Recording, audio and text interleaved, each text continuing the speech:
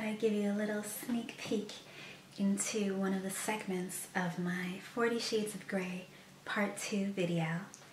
So, in this scenario, I am playing Jessica the Amazonian butterfly,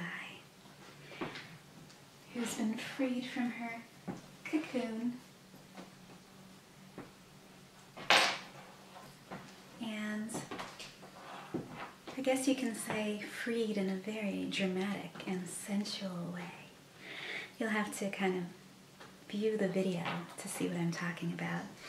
And the video is about 40% done. I'm still filming different segments and then I'm going to edit it all together and release it to you guys hopefully in two weeks. So stay tuned for that.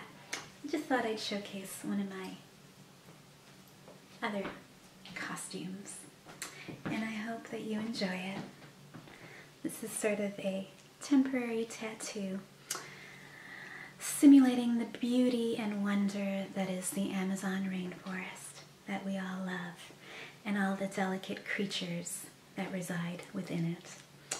So hopefully you will enjoy this and uh, let me know what you think. For now, I'm just going to spread my wings and fly. Peace among you.